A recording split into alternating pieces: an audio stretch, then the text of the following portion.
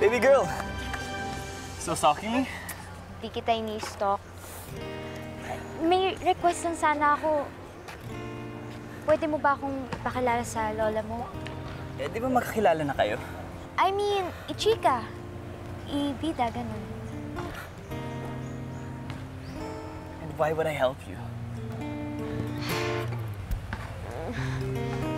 Please!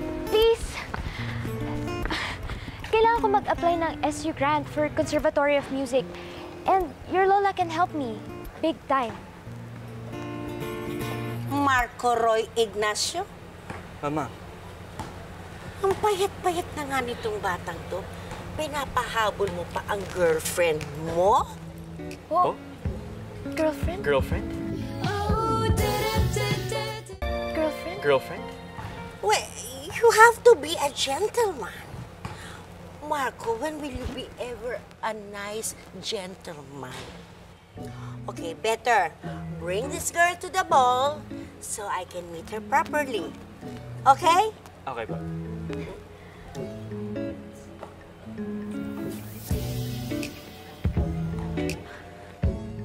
So, girlfriend na kita. Di ba this is what you wanted? Makilala ka ni Mamang. So, see you at the Cosmic Ball, girlfriend.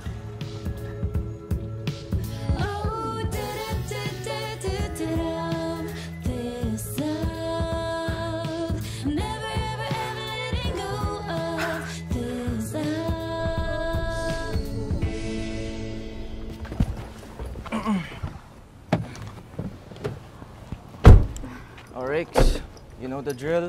Keep the doors locked. Alis muna ako, tihatid ko kasi. Yes, kuya. Ako na dito. Pwede namang mag-book na lang ako ng masasakyan ko eh. Ate Bekang, I can manage. You may go. Bye-bye. Sure ka? Text, text.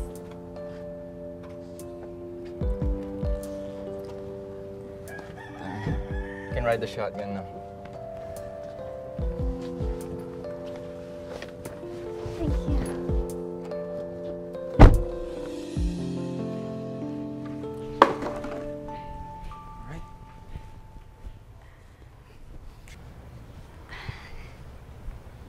Uy, uh, do you need uh, anything else?